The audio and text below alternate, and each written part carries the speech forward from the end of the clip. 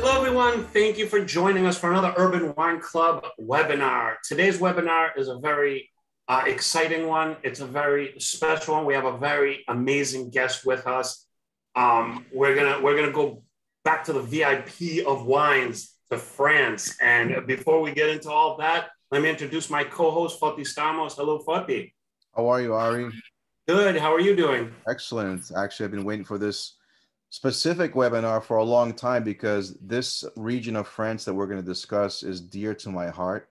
Um, but it's also a region that is either misunderstood. Uh, there's barely any awareness that this region does exist amongst wine drinkers today, believe it or not. But I think it's also important to actually understand this region because it does present a lot of principles and fundamentals of what it means to actually produce good wine. And w- with us tonight, not just a special guest, but a good friend of ours. Um, and don't let the accent fool you, but he is French.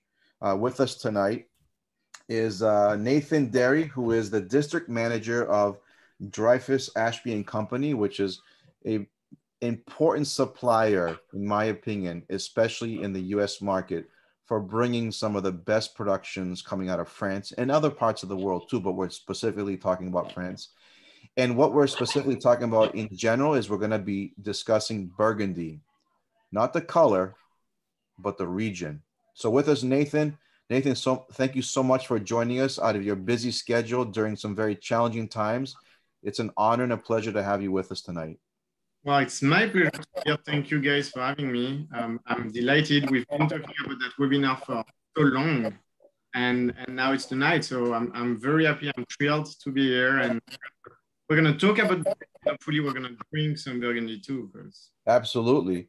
Absolutely. And, and Nathan, to my comments earlier, I, you know, uh, I, this was a great opportunity because I've gone through so many different circumstances about trying to present wines from this area. And it's either unfamiliar or people think that it's super expensive to try wines from this area. So, why don't we just quickly dive into and make our guests and audience aware of you know Burgundy and what it means to the wine world? Absolutely. So I'm gonna share my screen. I have some uh, cool pictures um, about Burgundy, and we're gonna just. Can you guys see the screen? Okay. Yes, absolutely. Oh, beautiful. So um, as Ara said, I work for Dreyfus Ashby, which imports um, wine from all over the world, but we are very strong on uh, French wine. And our main brand is Joseph Drouhin. So Joseph Drouhin is a, is a producer that is based in Burgundy. Um, the estate was founded in 1880. So as you can see, uh, they've been there for five generations now. So they know exactly what Burgundy is and they have seen everything. Um, we're gonna we're gonna start um, the presentation, and I really want to welcome you to my world, which is Burgundy. And it, the presentation is really a one-on-one presentation. I just want you, the members, to understand what the region is, and I'm going to try to demonstrate that some of the best wine in the world are coming from this region and you can afford those wines. They are not as expensive as what you may think they are. Um, so first of all, where is Burgundy? So Burgundy is in France. Uh, it's in the um, southeast of Paris. And as you can see on that map, um, Burgundy is quite large. It's a large region, but when we're gonna go deep into the production, you will see that it's a, even though it's large geographically, the production is very small. So the northern part is Chablis. So Chablis is considered uh, part of Burgundy. So you might have that misconception about Chablis, where your grandmother might have experienced some Chablis that was probably wine from that region that was wine from the US. And it was labeled as Chablis, but it was not from that region. To your point, Nathan, before you go any further, I just want to make a comment to that point is that years ago, maybe 30 years ago, there was so much production in the US that was labeling wine from California. White was labeled as Chablis, and the red was uh, labeled as Burgundy. Absolutely. Um, so now the, the, the French law is protecting the wine, so you cannot label champagne, any wine, even if it's sparkling, coming out of the Champagne region. And it's the same for Chablis, so we should be protected, even though there's still some uh, boxed wine made in California labeled as Chablis. But let's keep moving. Yes. We can talk about that for hours. Right. Uh, so Chablis is in the north, and then you have the motherland of Pinot Noir and Chardonnay, um, which is the Côte d'Or. The Côte d'Or is composed of two different parts, the Côte de Nuits in the north and the Côte de Beaune in the south. And then as soon as um, you keep going down towards the Rhone Valley, you're gonna hit the Mâconnais, and finally you're gonna hit the Beaujolais, almost um, next to the town of Lyon. Um, and Beaujolais, it's a specific region, is also part of Burgundy. So this is a picture that has been taken in the vineyard of um, Chablis Grand Cru Les Clos. So as you can see, there's a little bit of a hill, but it's not very deep. All the uh, rows of vines are lined. It's a very neat vineyard, and this is one of the best Chablis that you can find. So it's labeled as Grand Cru, and a little bit later in the presentation, I'm gonna explain the classification of Burgundy. Excellent. Um, so we were talking about Chablis. Now we're going um, to the Côte de Nuits. So as you can see, this is way flatter. This mm. is town of Chambolle-Musigny, one of the most famous vineyard in the Côte de Nuits. Um, and so that's a um, picture taken from, from above, but uh, let me tell you, this is pretty flat. There's a foothill where the forest is on the background, but it's flat. This is a picture from the Mâconnais uh, with the Roche de Solutré, which is quite famous. So Mâconnais, you might be familiar with the wine Mâcon Village. Uh, this is from that region. Um, and as you can see, there's two parts in that region. There's a flat side, which is usually the village wine, and there's a foothill, and that's where the best wines are from. Um, and is that because of elevation? Yes, uh, it's partially because of the elevation, and we're, we're gonna go deep into that. Uh, but elevation is definitely one of the main criteria. Um, so picture from the Beaujolais, and again, that's just to give you an idea of what the region looks like. Mm. All right, so what are we producing in Burgundy? Well, we're producing two grapes varietal, Chardonnay and Pinot Noir. And when I say we are producing Chardonnay and Pinot Noir, I just want you to understand that the motherland of Chardonnay and the motherland of Pinot Noir is Burgundy. We in Burgundy were the very first region back to the ancient Romans to produce those grape varietals. We were producing at the time, 2000 years ago, a lot of different grape varietals. But throughout the years, the selection of Chardonnay and Pinot Noir were made because they were the two grapes, white and red, that were producing the best wine in this area. So in California, you can find so many different grape varietal. You can buy Sauvignon Blanc, you can buy Chardonnay, you can buy Chenin Blanc, you can buy whatever you can even imagine. In Burgundy, the only thing you will find is Chardonnay and Pinot Noir. Um, and in the in the Beaujolais area, you also uh, you will find some Gamay, um, but that's uh, that's another.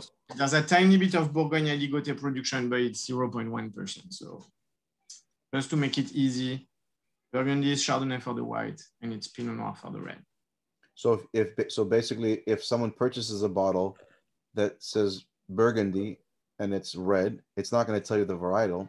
So you're drinking Pinot Noir, and if you're buying a white bottle, you're drinking Chardonnay. Absolutely.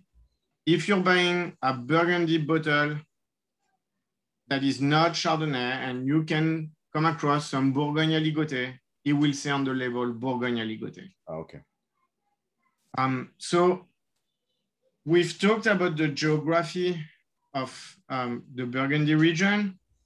Now, what I really want you to understand, because we can just call the wine Burgundy, right? We, we can get a wine from Chablis and we can get a wine from uh, the Mâconnais, and they're both from Burgundy, correct?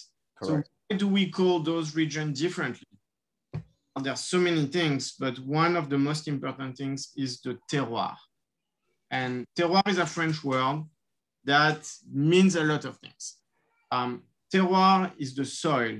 Terroir is the, the sun exposure. Terroir is how the climate and, and the, the rain reacts with the wine. So terroir is a lot of things. And on top of that, in Burgundy, we've created climates. So climate is even deeper than terroir because climate is a specific, very small area made of five, six, seven, eight, ten rows of vines.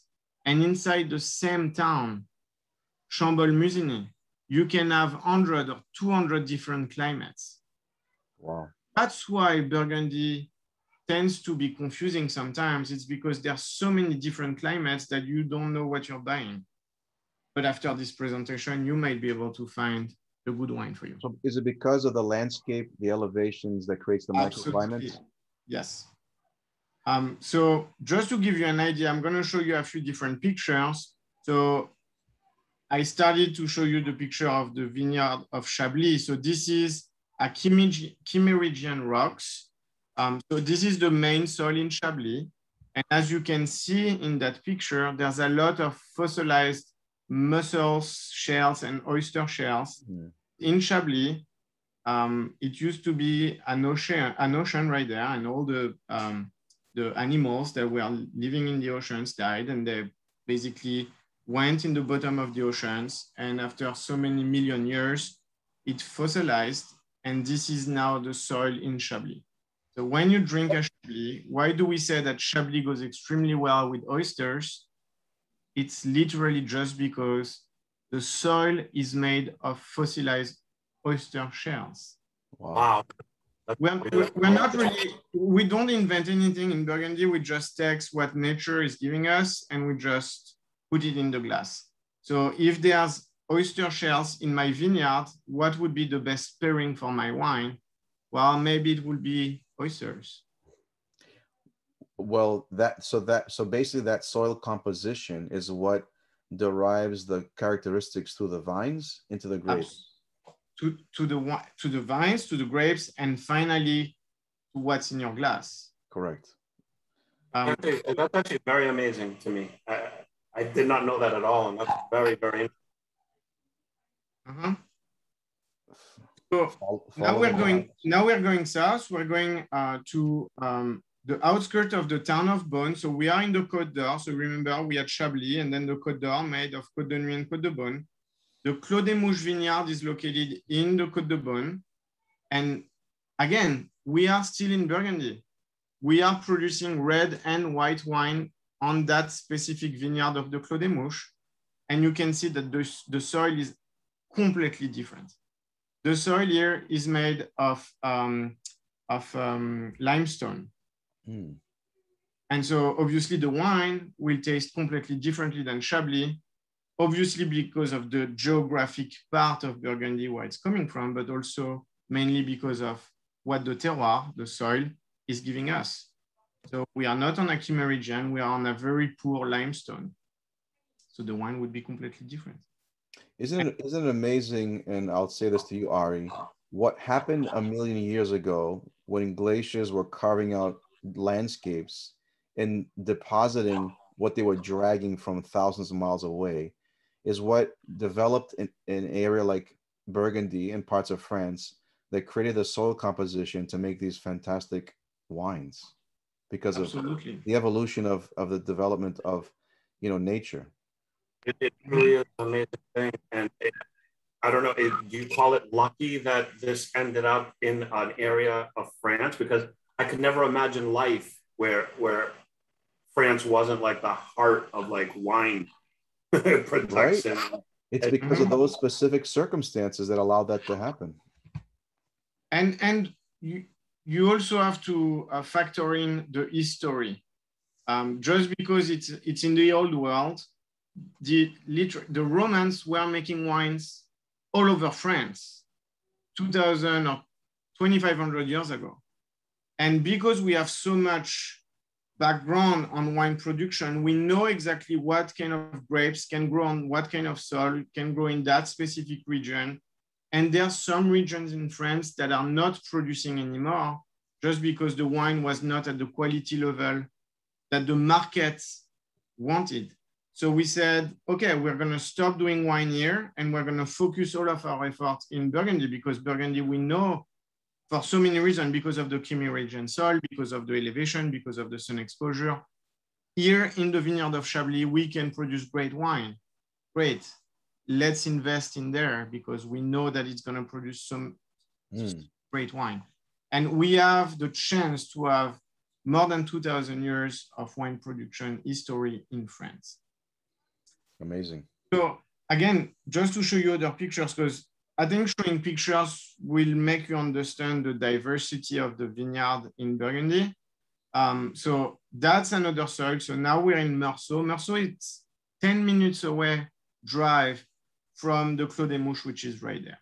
Um, and so in Meursault, we just, the entire town of Meursault is mostly, uh, I won't say just, but mostly producing Chardonnay, there's a tiny bit um, of a red production of Meursault, but 99.9% of the Meursault, the Meursault would be whites, Chardonnay. And as you can see, this is, again, a different type of soil, a different type of limestone. This is a very white limestone, almost like chalk, but it's not, it's limestone, but it's a very white, dry soil. Um, so it almost look like it's like snow covered. Absolutely, yes, but it's not. Just I mean, oh, it's, oh, yes, the, the natural like that. Yes, and so again, ten minutes away from here. Wow. ten minutes from there, and you arrive here. Different soil, obviously, different soil, different wine. Amazing. Yeah. And now we're going to the Beaujolais area, which is the very bottom part of Burgundy. And now we're going to find another kind of soil, which is granite. So it used to be very volcanic over there. And so you have a, a granitic volcanic soil. So the wine would be completely different. And that's part of the reason why we're not going to grow Pinot Noir there. We're going to grow Gamay because Gamay is a grape varietal. By its structure and the acidity of the grape, we love a granitic volcanic soil. So again, so many different years of winemaking throughout the history wow. make the winemaker decides that let's forget about Pinot Noir over here and let's just focus on Gamay because we know that this grape varietal will grow well. So the, the, this slide and the next slides to me are the most important slides to understand Burgundy. Mm. Why Burgundy is so sometimes, not all the time, but sometimes confusing. So in the Burgundy region, there's a ranking. The ranking is called classification. And a little bit like Bordeaux has different growths, first growth, second growth, third growth, Burgundy by law has different classification. So you start with the regional appellation. This is very, this is the flattest part of the valley. And this is on the outskirt of the town. And this wine, the regional, that's gonna be that kind of wine, which is labeled as Bourgogne, Chardonnay, this comes from a regional appellation. Then when you get close to the town, you will be in the village appellation. The village appellation is past the outskirts of the regional and you're in a specific delimited um, geographical spot. Above that, so then you go on the hill because there's basically a, a big hill in Burgundy and then becomes a little bit flatter. So on the hill, there's the sweet spot. And the sweet spot is the Premier Cru and the Grand Cru. So the Grand Cru is the best of the best of that specific village. So we take the town of Chambolle-Musigny. The best of the best, the Grand Cru in Chambolle-Musigny is called Musigny. Oh, that's another funny story about Burgundy because all those names, they have big, long names. And the reason why they have big, long names is because it used to be the town of the town of Chambolle. And the people in Chambolle decided to add the name of their most famous Grand Cru. So the town of Chambolle became Chambolle-Musigny. The town of Chambertin became finally the town of, I mean, the town of Gevrey, sorry. The town of Gevrey became the town of Gevrey-Chambertin because the most famous Grand Cru vineyard in Gevrey is called Chambertin. And you take the entire Burgundy name of the towns and you will find Puligny-Montrachet, Chassagne-Montrachet is the town of Puligny, the most famous vineyard Montrachet, the most famous Grand Cru Montrachet, it becomes Puligny-Montrachet. So this is just a trick for you to so, remember what's what, the most famous Grand Cru. Does that mean though, with those labeling on the wines, does that mean that wines that are labeled with that second name is that they have grapes from those vineyards? It just means so the town basically changed the the original name of the town. Right. So back back in history, it used to be the town of Puligny, and now if you go there, you will see that it's now named the town of Puligny-Montrachet. So it was just the it was the early stage of marketing, I would say. Gotcha. Like 60, 70 years ago. So it doesn't necessarily mean that those that specific wine has grapes from Montrachet. From the Montrachet, no. It doesn't. Okay. But but the town of Puligny-Montrachet. So if you look at the at the slide, the, so the village, all the grapes, if you see on the label Puligny-Montrachet, all the grapes as by law to come from the town of Puligny-Montrachet. Right. So it's your choice as a winemaker to declassify your premier or some Grand Cru into your Puligny-Montrachet. You can absolutely do that. But you cannot take village level wine and put on the label Grand Cru. So you could go from the top and, and lower the quality of your wine. That's absolutely fine, but you could not go from the bottom and no. higher the quality of your wine. And going back to village wines, just to, to uh, confirm and clarify, is that in order to re receive a village status, your grapes have to be grown within the territory of that village. Absolutely, yes. And you can see here, there's the two um, uh, black lines. So the grapes has to come from that yellow part. If it comes from the green part or, well, I mean, if it comes from the green part, then forget about it. It's mm-hmm. just general level wine. If it comes from the pink or the orange part, then you have the choice as a winemaker to decide if you want the label, you to put on the label Premier Cru or if you want to just keep it as a village. That's absolutely interesting. And I'm assuming that as you go up the hill, so does the price point. Absolutely. This is the hill of price. Yes. Um, and so you will understand why sometimes Burgundy is expensive. And I'm not saying it's always expensive. We have two great examples tonight of wine that are very affordable and they are very high quality wines. This is the, the pyramid of the appellations. So we were talking about regional village, village Premier Cru and Grand Cru. If you look at the Grand Cru appellation, there's only 33 vineyards in the entire Burgundy that can be called Grand Cru. And it represents 1.6% of the total production. Oh, wow. So then you are in, in a market where supply meets demand. And this is obviously the best wine, but there's only 1% of the production that comes from those Grand Cru appellation. Obviously, you will have to pay the price for those wines. Just, just for uh, for giggles, can you give us maybe like a, a price range of what Grand Crus might be? Absolutely, yeah.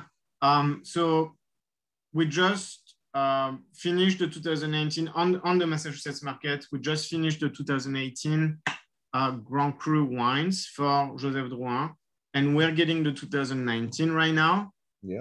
I would say that a, a, a case, a six pack of Musigny Grand Cru from Joseph Drouhin will sell on the market right now for um, close to $7,000. 7,000 for a six pack. Yes. That's retail. That's retail. Okay. Ari, can you order me some? oh, now, he's, now he's not talking.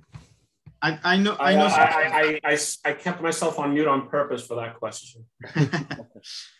um, and so, so again, and, and, again, that's the, the pyramid, right? So then right under the Grand Cru, you have the Premier Cru. So Premier Cru 11% of the total production, you have really, really high quality wines. Hmm. Now we are a little bit larger. We have a little over 500 appellations that can be called Premier Cru. Under that, you have the village level. Village is really, really good wine again. Um, and there's only 45 villages that can be called themselves village. So some villages are next to most famous villages and they're not going to use their name, they're going to use the name of the next town. So sometimes it's three or four villages together that are inside that one village appellation. Um, and then you have the regional production. So regional production is half of what Burgundy is producing. So for us, it's great because it gives us wine that we can put on the market at a very affordable price. Even though Burgundy is really hot, even though Burgundy seems expensive, we have quality wines that are made from very good vineyards and they are affordable. Nathan, could you give us possibly a number this great area? How much wine collectively altogether is being produced out of burgundy? Is there a number that you can tell us? Absolutely. Look at that. Ah so this is why burgundy is expensive you need to understand that we have almost 1500 climates. So climates again is that, that single plots that are very specific, distinctive things that makes that a climate. So the soil, the sun exposure, the kind of rocks, pebbles, whatever is in that vineyard, the everything makes Amazing. a climate. Just to compare with California, California, you just have 130 AVAs, and that's California. So Mm. in Burgundy, we're so detailed. And again, we're talking about a few rows. So you can create a climate based on three, four, five, six rows of vines. So how much wine are you going to produce from that climate? Few cases Right. Here and there. So Wow. production of Burgundy, and again, don't forget that half of it is regional wine, is 17 million cases. California is almost 10 times bigger in terms of production. wow fascinating And we also have so many different producers. i was just yeah realizing wow Yep. We have the same, basically the same amount of producer in Burgundy that California. What does amazing that California, it's usually a huge vineyard, and in Burgundy, it's just a couple rows. So that's to give you an idea of what you can find um, in the cellar if you go in Burgundy. Um, so I don't know if um, your members or um, you even have been traveling to wine region in different parts of the world, but what I find fascinating is if you go to the old world, so we're talking France, Italy, Spain, Germany, um, Greece, and if you the new world, which will be Australia, New Zealand, um, the US, obviously. When you go to the new world, everything seems new, just because the wine production is something quite recent. If you go Correct, to France or Italy or Spain, they've been making uh, they've been making wine for I mean, again 2,000 years, right? So this is a vaulted cellar in the town of Beaune that has been constructed um, in the in the 14th century, and this is where they still make the wine. wow Beautiful. So think Amazing. about that in terms of economics as well. Let's say you want to create your own vineyard in California. You will have to buy the land. You will have to create a winery. Creating a winery is a lot of investment just for the equipment. When you go to the old world, all of that is already paid for and has been paid for, I don't know, 200, 300, 400 years ago the family is transmitting the vineyard used to be from son to son and now from, since napoleon from son to all the kids and then all the kids all the kids all the kids um, so my point being, when you're in a wine shop, and let's say you have a budget of $30 to spend, what do you think would be the highest quality at that price point? To me, and again, it just it, it's just a question of taste as well. But to me, old, old world wine in general, just because you don't have to factor in the financial burden of the newer newer producer. They will have to pay the bank for the mortgages on the land. They will have to pay the um, the for the equipment and in the old world producers don't have that financial burden. So on the, on the glass, when you buy a glass of Burgundy or Loire Valley or Spanish wine or Italian wine, usually, and again, it's just, it, it's, it's not a 100% accurate rule, but just my experience, you get at a specific price point, higher quality wine in the old world. Not saying that the New World wine is bad. I, I drink New World wine. I enjoy New World wine. I'm just talking about price point if if I can, that is, that is a very good point. If I can add to, to your comment, Nathan, about about your comparison, what I wanted to add is that from what I, my experiences and what, what I've um, seen is that wine from the old world is wine that's made in the vineyard, and some you know what does that mean? And for me, the way to express that wine is made in the vineyard is that it's all about it starts in the vineyard. It starts with the, the production of, you know, the grape and how it's tend to and how the vineyards are tend to. Because if your your vineyards are well maintained, then you don't need nothing else when you bring and you transport the grapes back to your winery to make the wine.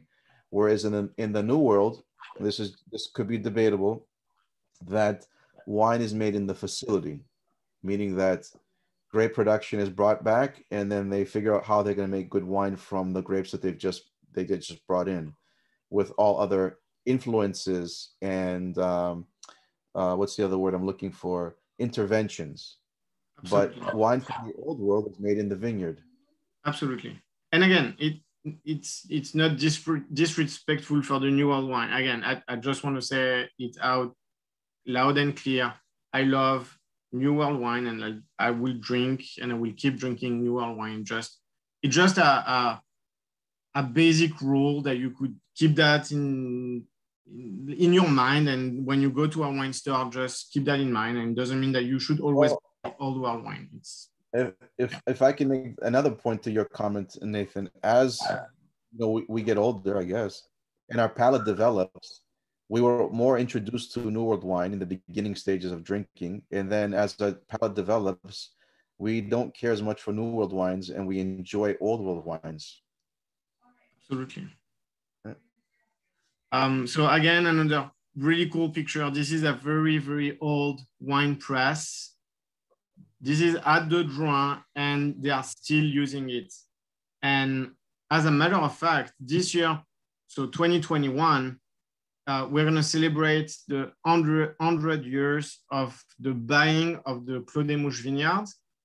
And we're going to use that press to do a special cuvee.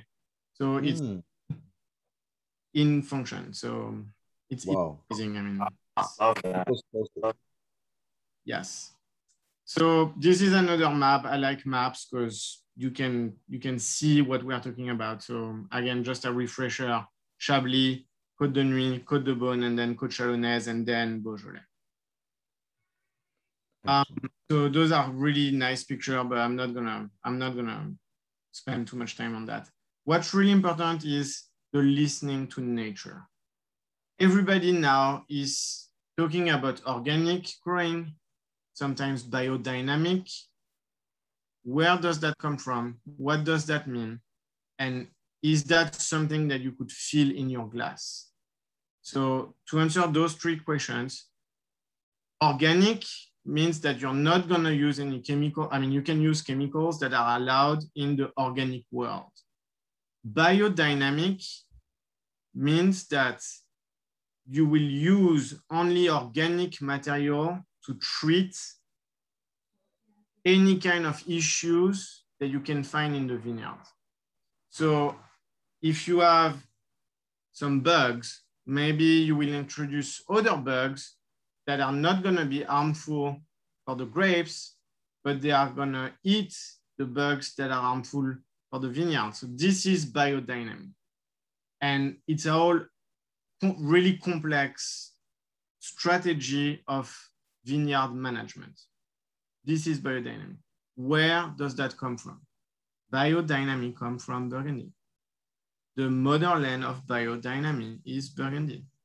One of the pioneer of biodynamic is the Drouhin family. So I just want to put that out there. Mm. Everybody's talking about biodynamic. Biodynamic equal Burgundy at the beginning. So what they do, they basically grow their own rootstock. Why? Well, because they can control the quality of the clone and they decide what clone will go in which vineyard. And they know because of history of winemaking in the same family that this specific root will go very well in this specific vineyard. Natural compost, that's very important. Why would you buy compost? You can do it yourself and you could do it naturally. So mm-hmm. Press your wine, you can reuse all the materials that you're not going to use to put in your wine and you could create compost with that. Just tiny stuff like that. Um, flowing by horse, um, that's also something, as you can see, the rows are quite next to each other. You can have uh, mechanical uh, equipment like tractors and stuff, but that's gonna harm the soil. A tractor is really, really heavy. So you're gonna, you're gonna condense the soil. That's not something that you want. So using a horse, it's natural. The horse by his work will not damage uh, the soil. And that's one of the many techniques that they are using in Burgundy and at the Drouhin. Wow. So that's a really nice picture. I love that picture. Um, the cycle of the planets, this is another component. I'm not going to enter too much in the details of the cycle of the planet because I, I don't truly believe in it, but they are very, very believers of um, following the cycle. The astrology? In order to harvest, in order to do some kind of treatment, when are you going to prune, when are you going to deleaf, stuff like that. Interesting. Using plants. So because we cannot use chemicals in the vineyard, we have to come up with solutions um, when sometimes we have disease or stuff. Well, I mean, anything, you know, disease is a great example. So um, they have some solutions using plants and doing concoction of biodynamic.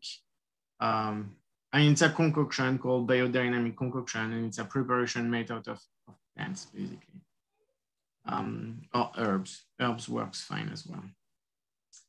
Um, Something that you should know as well about Burgundy, and you have been exposed to that in the last couple of vintages, is because of global warming, Burgundy has been heated every single vintages since 2016 by the elements. What does that mean? Frost, hail, flood. We didn't have fires we had fires in Oregon because we own property in Oregon as well, but Burgundy has been severely impacted by the elements since 2016. This is also why the price at the store might be a little bit higher on some vintages because we've been pretty unlucky, I would say, with the elements. Um, so this is a picture of the vineyard of Chablis. To prevent the frost, they light up candles in the vineyard. And doing that, you can gain one or two degrees Celsius, and you might be able to save 100% of your production from the frost doing that. Those are candles? I yes. Wow. I mean, it's big candles. It's not small candles, but it's.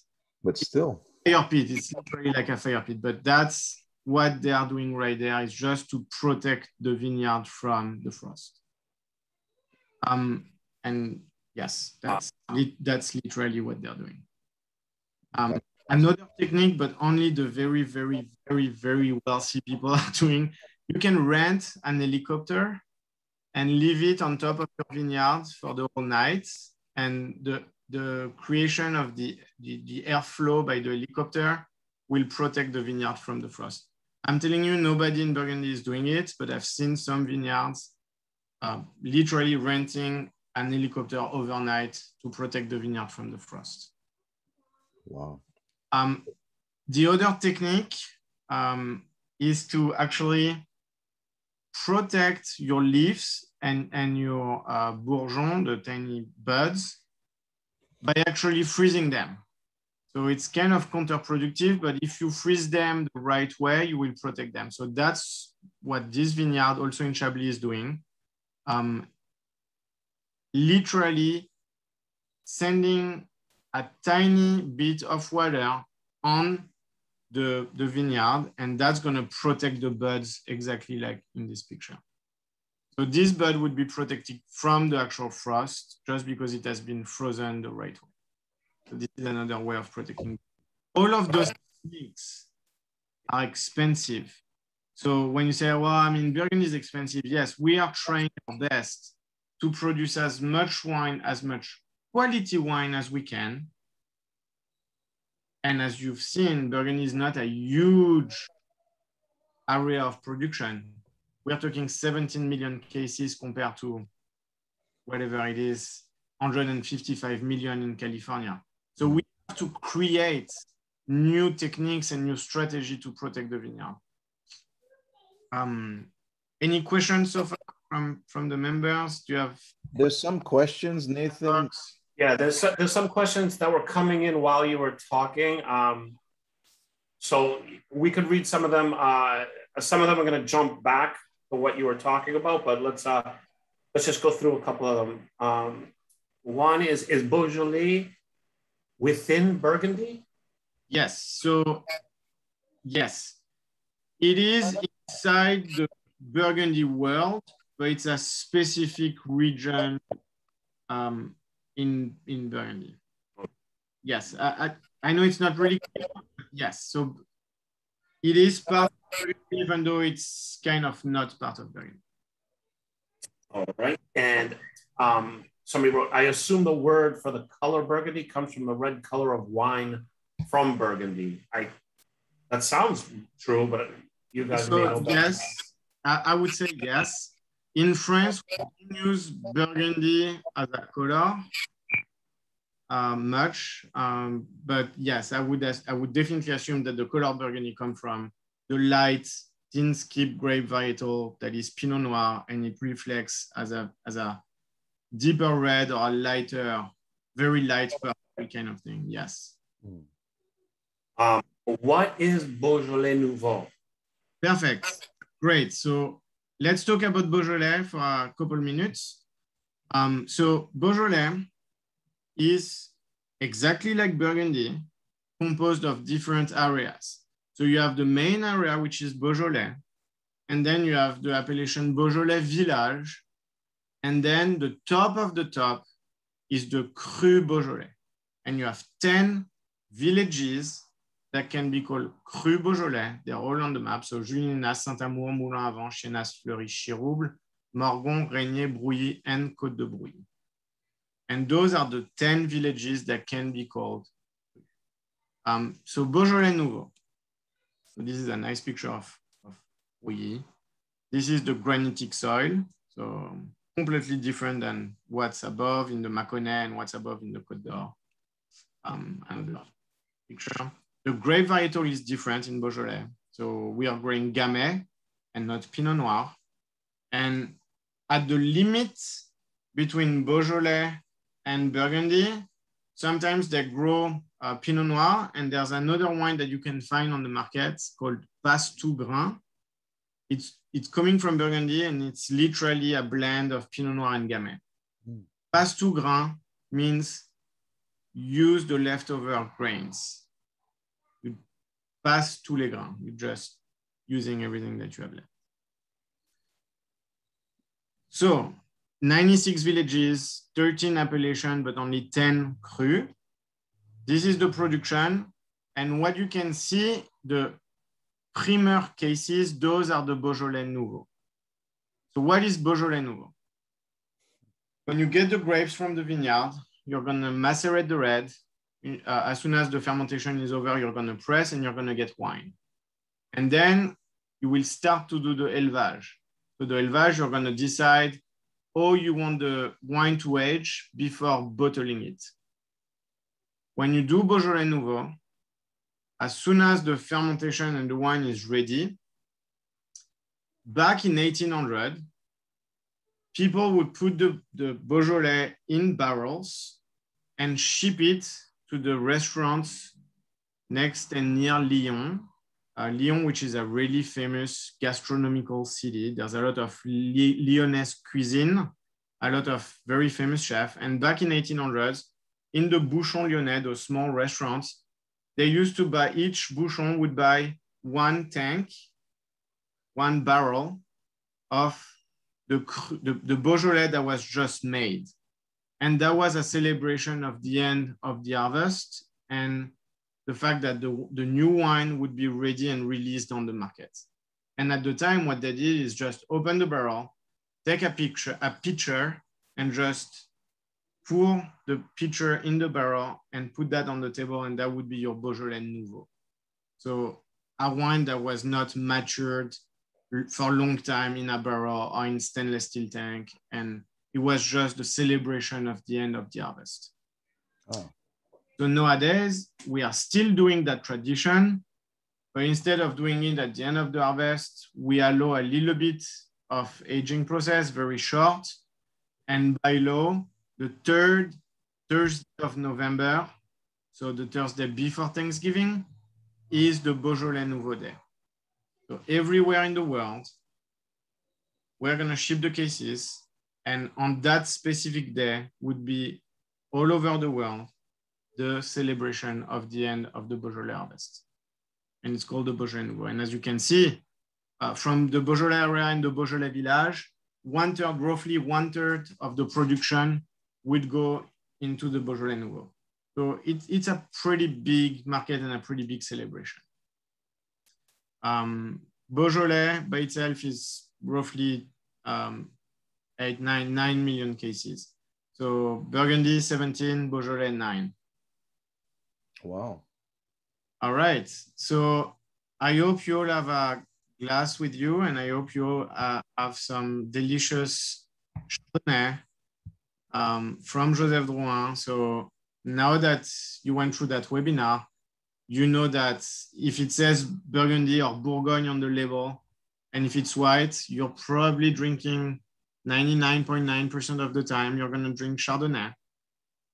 Um, this specific Chardonnay, I love showing it because it's a blend of different terroir and different areas of Burgundy. So you have the best of all the areas and it makes that wine very complex. Mm. And it makes a very complex wine at a very, very affordable price, which is even better. So you have some grapes uh, from Chablis, you have some grapes from the Côte d'Or, and you have some grapes from the Mâconnais. Everything is vinified separately. Some of it is aged in stainless steel barrel. Some of it is aged in oak, especially if you're coming uh, from the Côte d'Or, all the grapes coming from the Côte d'Or, this is this is very good material. So we will use a little bit of oak barrel on that. And at the end, when the wine is, is ready, when every single plots are ready, we're gonna do an assemblage. So we're gonna blend all those areas.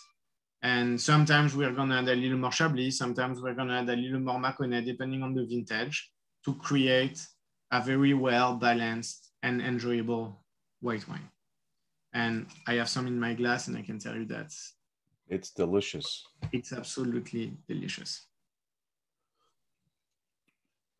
And if I can add, if you don't have this bottle, you can definitely find it on Urban Wine Club. We're featuring both the Laforêt uh, Bourgogne White and the Bourgogne Rouge or Red. Absolutely. And thank you. red. That's a red. Yes. And so this, this is the red. So same exact idea of the reds. Um, the Laforêt red is a blend of different areas um, of Burgundy. You can add a little bit of the um, Côte de Nuits, mostly Côte de Beaune, and a little bit of um, the, there's I, I, believe there's some Mercurey in there as well. So this is the the um, um, southern part of, of the Beaune area, right before the Mâconnais. Um, and again, I mean, I am dying to taste that wine because I'm sure it's absolutely delicious, but I'm gonna finish my white.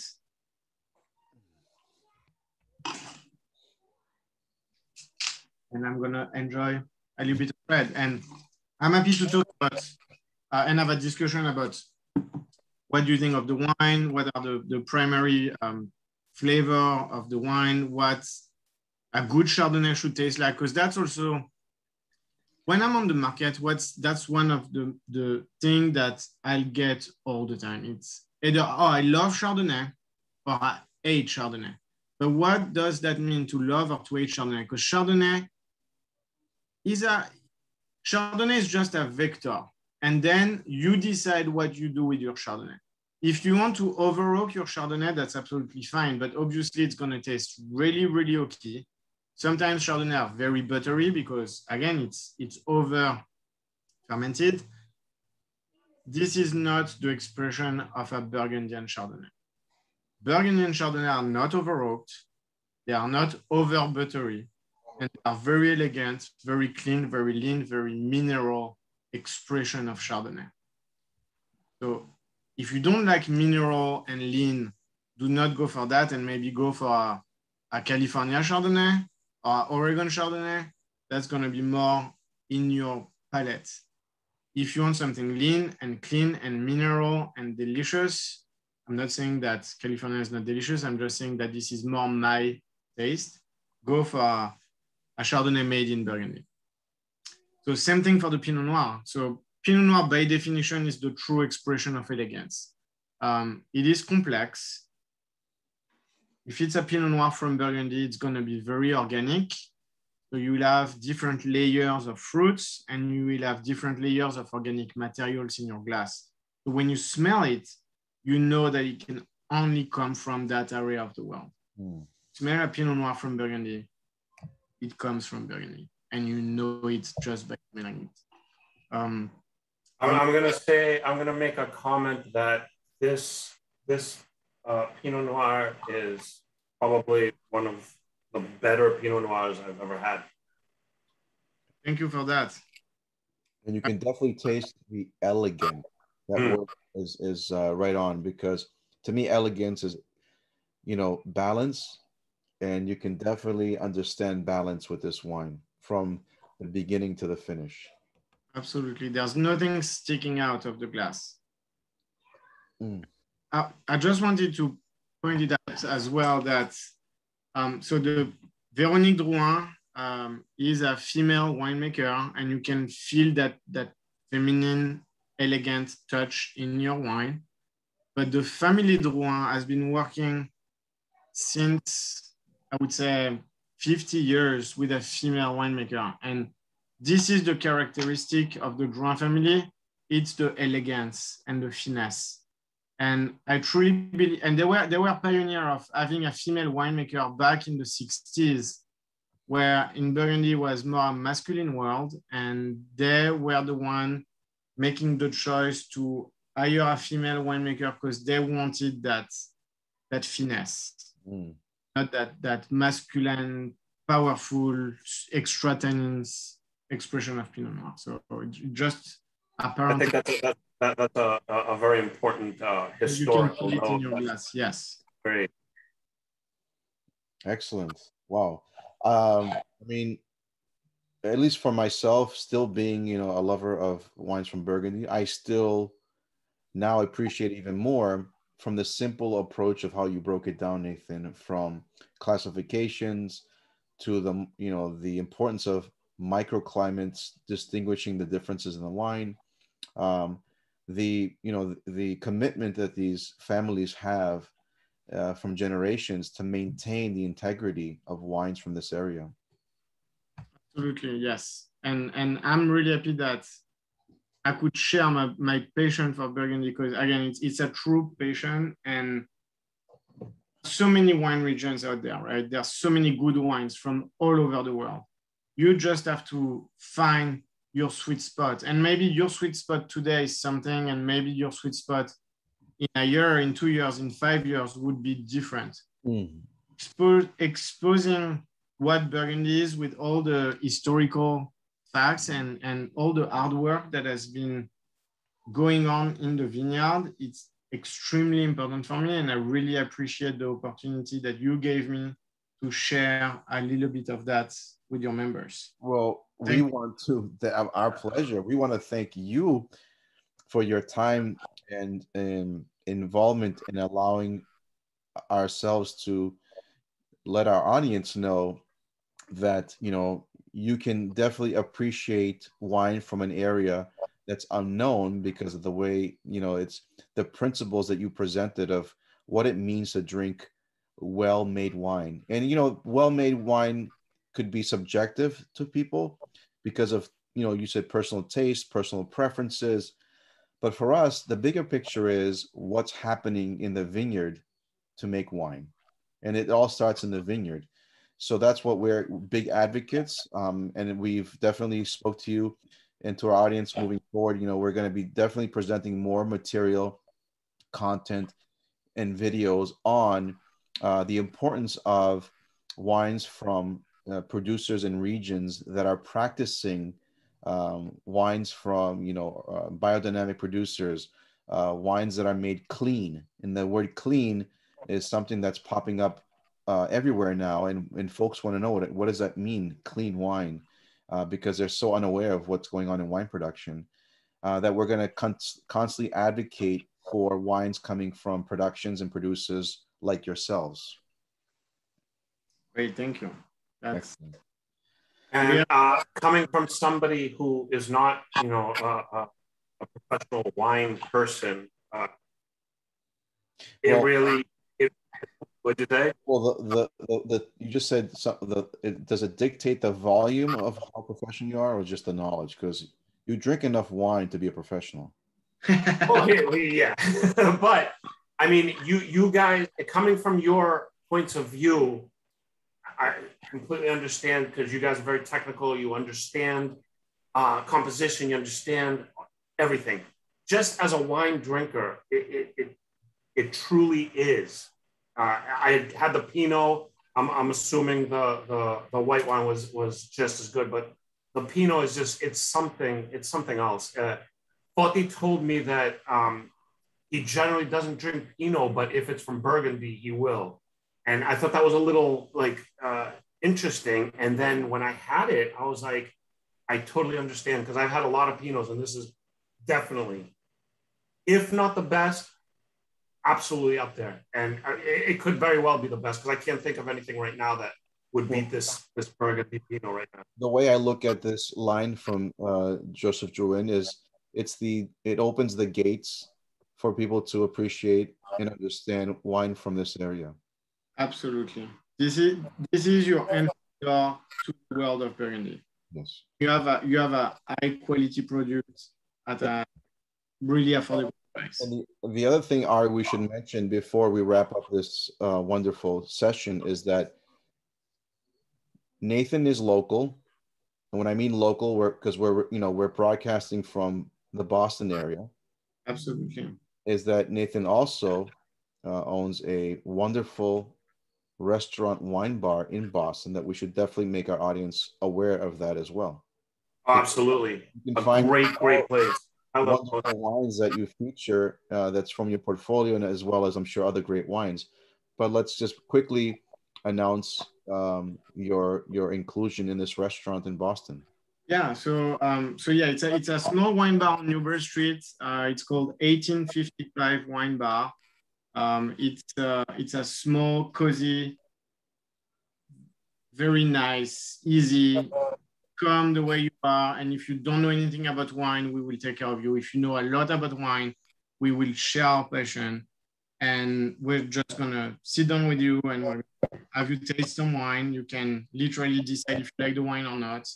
And you're gonna have a true wine um, I think you transport your guests uh, to This, France. this is just the idea. And yes, by the Yes. environment and the, in the ambiance and the energy that's in Yeah, your the atmosphere is absolutely amazing. It's it's it's it's a very very comfortable place. It's a very uh, like Nathan said, cozy. Uh, you you go in there and you just and relax and enjoy your wine, enjoy your food, enjoy friends. Uh, I found that when we went Foti, uh, when I first met you, Nathan, and it, it was just a, a great experience. And I could see any wine lover or any newbie to wine having an amazing time at your restaurant. yes, excellent. yeah. excellent. There, there's only a couple things in the world: good wine, good food, good friends. Right?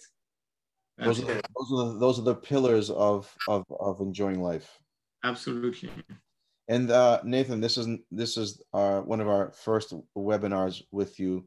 Um, it's not going to be the last webinar because we want to definitely continue to explore Burgundy, and maybe we can do some sessions where we break down just specific uh, appellations in Burgundy. Absolutely. I would love to do that. And um, if there's Ari, any last minute, if there, have we missed any questions or any last Yeah, minute? well, there, I, I noticed that there was a comment, not a question, but uh, the comment uh, was the biodynamic comment uh, from from Nathan is fascinating about Burgundy. Thank you for explaining. So uh, yeah, Nathan, you you you gave some great great information about a truly amazing area of the world and a place that that just produces great wine.